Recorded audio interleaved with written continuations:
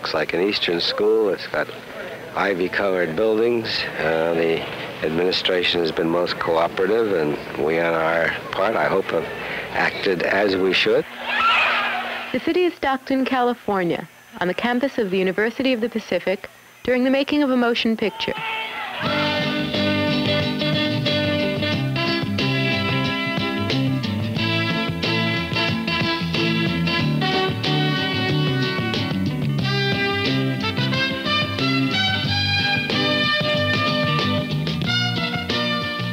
City is also Stockton, California, which for over a generation has been a convenient site for motion picture production.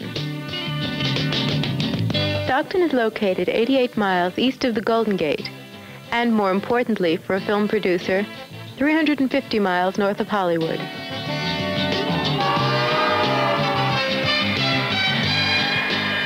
Millions of people have been able to visit Stockton through the medium of motion pictures.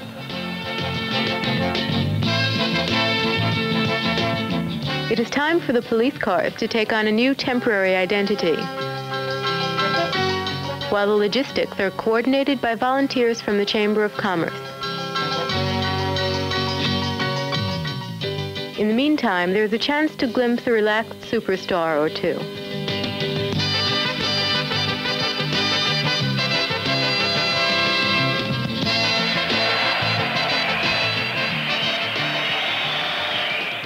A recent motion picture to be made in Stockton was Fat City, which brought to town director John Huston. The production team chose Stockton because the novel from which the film was made is about Stockton and the sport of boxing.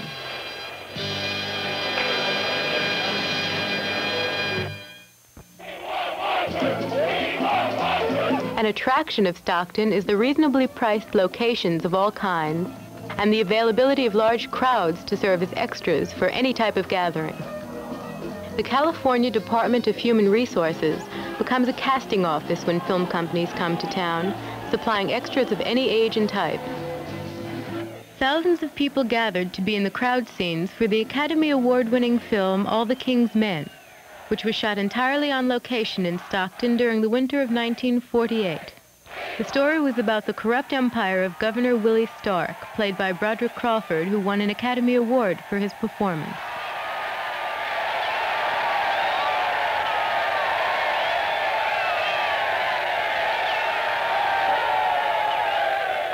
This is not a time for speech making. I should get on my knees and ask God to give me strength to carry out your will.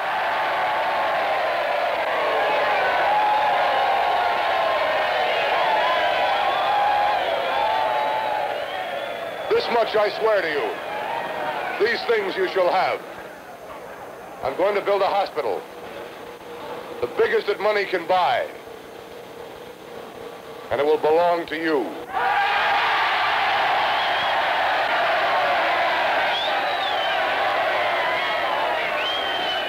The countryside is relatively untouched, providing the setting for the post-Civil War adventure film Sam Whiskey.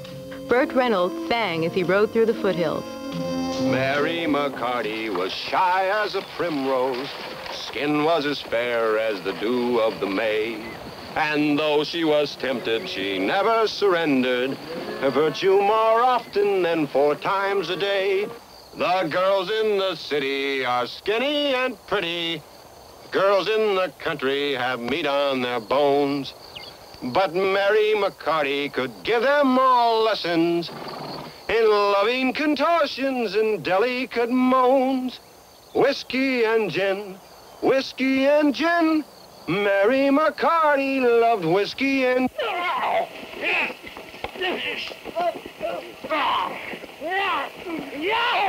A fight scene is not a very pleasant exercise, even for Clint Walker, who starred in Sam Whiskey, along with Burt Reynolds and Ossie Davis.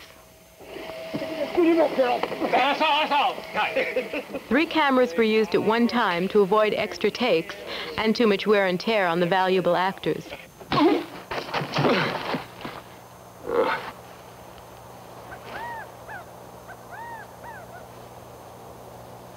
Trying to trick you into a deal where you make a lot of money so you can become a rich man. Become a famous inventor. Man ought to be stoned for that. Hit me again. Now I deserve it.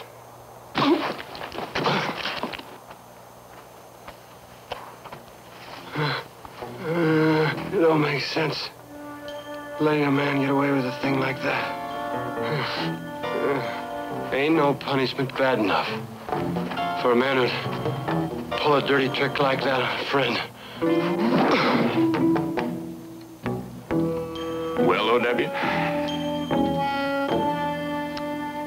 Let's go.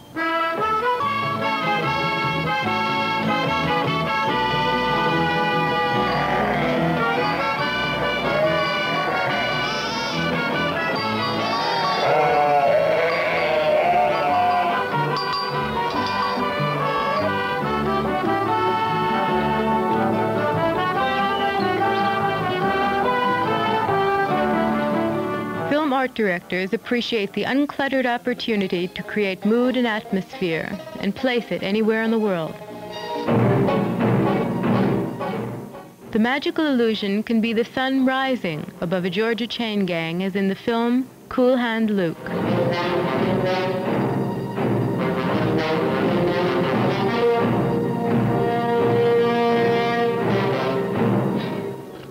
All right.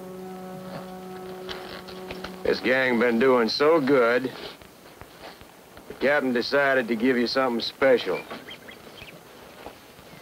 You got yourselves a whole road of touring to do. And I want to see you roll it.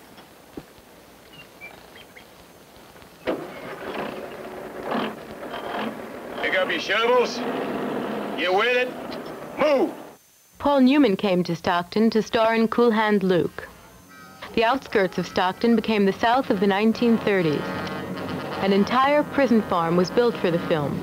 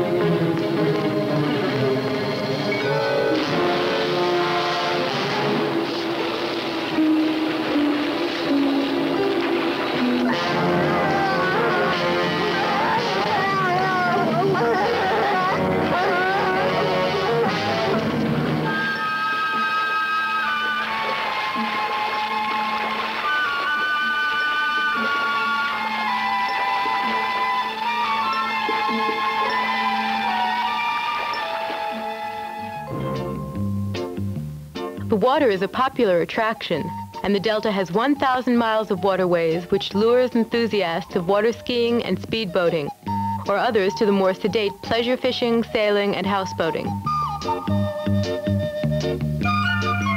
The San Joaquin Delta became a film site as well. It served as the lower Mississippi in the films Tom Sawyer and Huckleberry Finn and All the King's Men. Portions of Tugboat Annie and Porgy and Bess were also shot in the Stockton waterways. Some residents of the area are fortunate to have water just off their own backyard. Freighters from all parts of the world tie up in the port of Stockton to carry the bounty of Central California's products to the outside world. A deepwater channel system connects the port with the San Francisco Bay and the Pacific Ocean.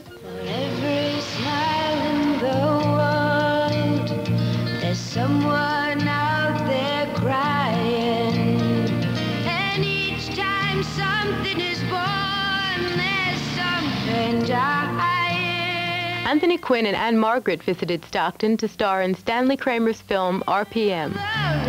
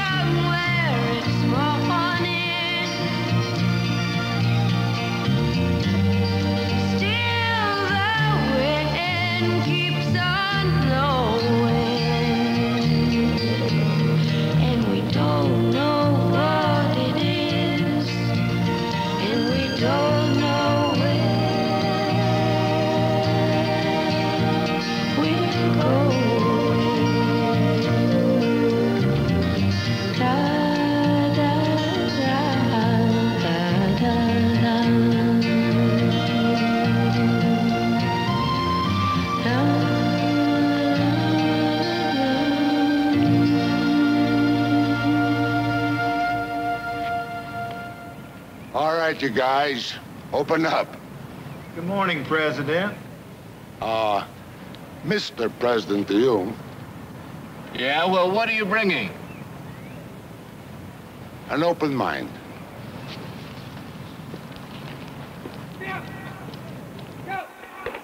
A contemporary campus power struggle was the story behind this feature film.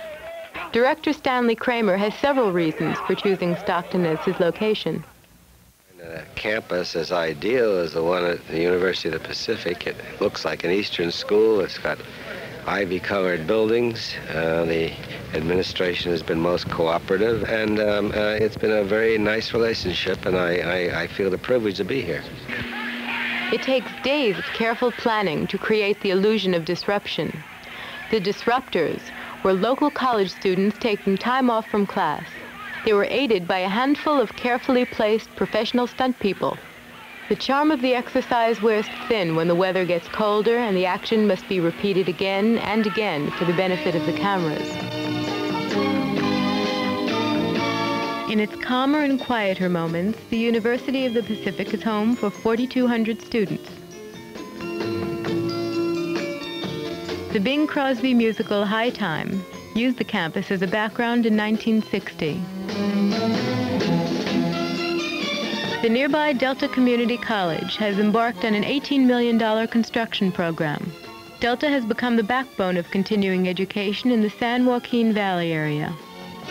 Many of the students who live in Stockton can count more than one motion picture appearance to their credit. The crowds took to the streets in MGM's Strawberry Statement, which was shot on location in Stockton and San Francisco. The film was based on the novel and articles written about the student takeover at Columbia University. Director Stuart Hagmann went to great lengths to find a city that would permit filming of a riot. Well, as you probably know, you probably have heard this story, we uh, couldn't film at uh, Columbia for obvious reasons. And we set out to film in San Francisco and found that no universities would allow us to shoot there. We did get the permission of one school, and they decided then that they we were not an appropriate subject for the film. So we had to put together a campus with a number of buildings. Stockton is uh, a city that has a great deal to offer. It has some buildings that look quite right for us, and also the people that we met in this in the town seem to be quite receptive to the film.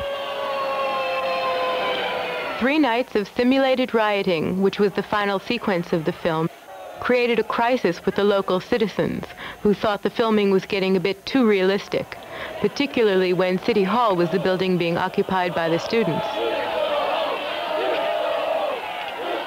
On the same location, some 20 years earlier, the climax of All the King's Men was filmed.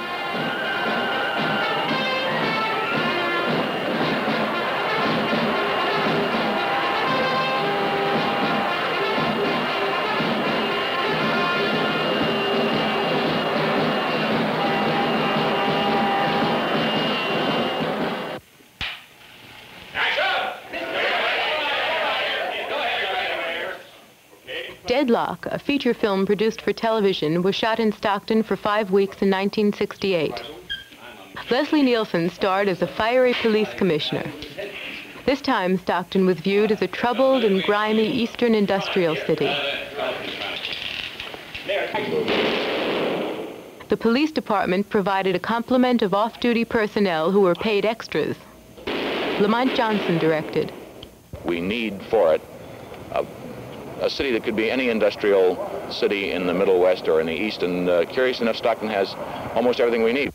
One uh, uh, shot on Patrick's subject when I saw uh, the late Robert Kennedy's campaign when they were We're shooting down with the riverboat and the factory and the, the industrial look of the river, and we are using some of the, the more the older buildings, the brick buildings, that could you know they could easily be uh, Eastern apartment buildings, and uh, there are excellent things as well as some very pretty parts of Stockton. We're using a, a lovely uh, estate and garden party area. We're using your fountain and city square uh, to good advantage, and uh, it seems to have everything we need, as well as very fine people.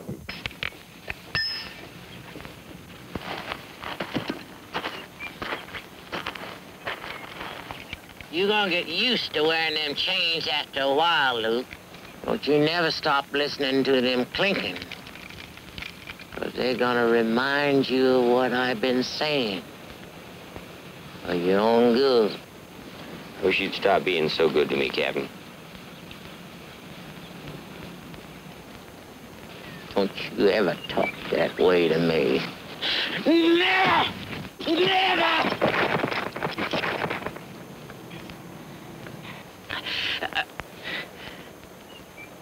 What we've got here is failure to communicate. Some men you just can't reach. So you get what we had here last week, which is the way he wants it. Well, he gets it.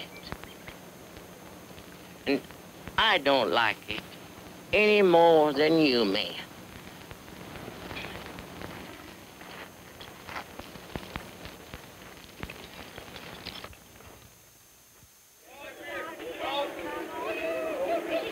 The towering figure of John Huston became a familiar sight around town during his visit. On a day off, the Fat City crew played softball against the police department team.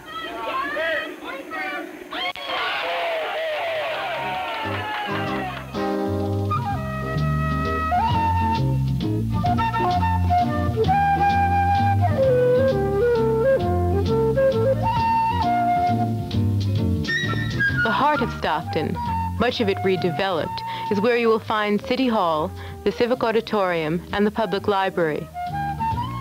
The cultural diversity of Stockton abounds, an indication of Stockton's place in 19th century California history, when people came from many lands to work and settle in the rich area.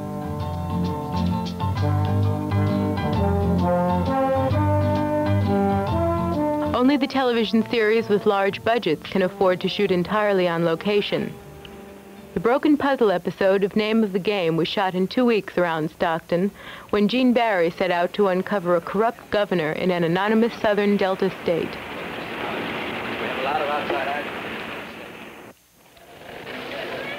The smoke-filled fight ring was only one of the areas of struggle in the film Fat City. Dozens of locations were used all over town, as well as the surrounding agricultural area. Co-star Jeff Bridges explained his role in the film. Well, it ends up with uh, I lose every fight in the picture except the last one, and you don't. I don't think that you probably won't even see that one. But I win the last fight, and uh, kind of ends up. Uh, oh, I don't want to tell you the ending. God, that's okay. That's no ask fun. then.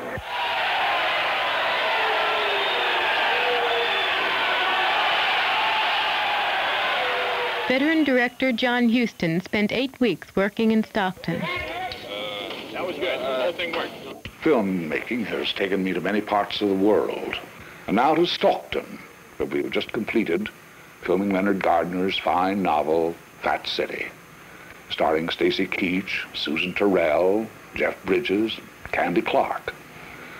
It's always welcome to have the support and cooperation of the community where we film. We've had a great deal of help this summer in Stockton. Not only have we used hundreds of extras as spectators, but uh, many of the important small parts in our picture have been played by local people.